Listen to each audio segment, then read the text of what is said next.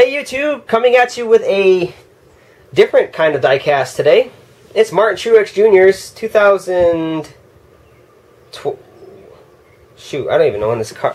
I think it's his 2011 scheme, maybe 2012. It's either one of those years.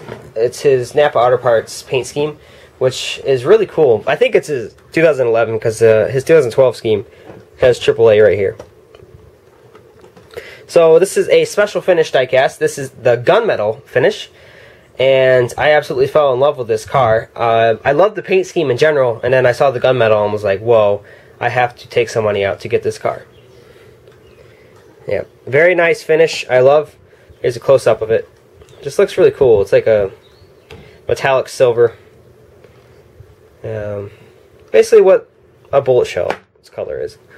Gunmetal. That's what it is. So, the design is beautiful. I always like this design. I was really sad to see him switch up his design in 2013 to that like all blue Napa car. Just I don't know. I thought this was a cooler Napa car. I thought um, same with Chase Elliott. He kind of has like a plain paint scheme in 2014, 2016, but it's 2017. They added some yellow, made it look a little better. But yeah, so this is Truex's Napa Auto Parts scheme from 2011.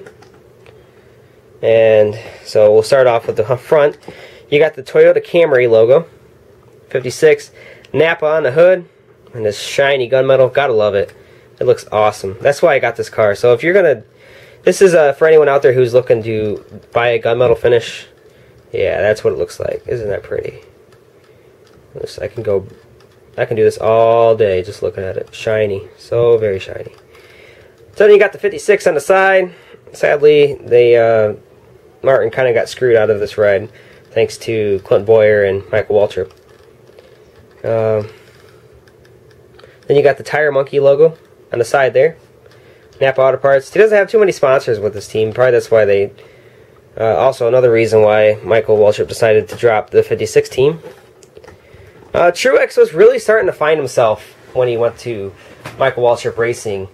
Uh, he was always very inconsistent at DEI Ganassi, and then when he went there in 2010, he seemed to start performing better. I remember in 2011 he was close to winning a couple races, mainly Kansas. He led most of the laps there and ended up losing the race to Denny Hamlin. Uh, that's been the story of Truex's career. Actually, is just coming so close. Even when he went to the 78 team in 2014, 2015, he only won one race that year, but probably should have won many more yeah, I was definitely sad to see Truex not win. I've always liked Martin Truex, especially when he raced at Dale Earnhardt Incorporated. It was just definitely, I don't know. He was Dale Jr.'s, I think, first star. Dale Jr. had him on his uh, then Busch Series team. Martin Truex Jr. I think won back-to-back Cup champion or uh, Busch championships, and I think Truex he's getting up there in age, but he's definitely probably the, one of the best, if not the best driver in our sport right now. He's got a good team. He's got fast cars and he can drive. So I think Truex is on his way to possibly winning a cup championship. But I know he is famous for uh, blowing races. But he's up to nine wins now. It seems like he should have a lot more than that. But he's getting up there in the wins. And I always wanted to add a Truex car to my collection, and I'm glad I added this one. I have actually, I actually have a couple of his hats from when he raced for uh, um, Dale Earnhardt Incorporated. I have his Bass Pro Shops hat. I remember when he won Dover in I think 07. That was his first win. It kind of came out of the blue. We are like, oh my gosh, is he for real? Uh, and then for a whole what six years, he struggled to find victory lane again until he found at Sonoma in 2013. So yeah, this is a very nice paint scheme. As I said, I, I like the design in general. Then adding gunmetal to it just really makes it pop.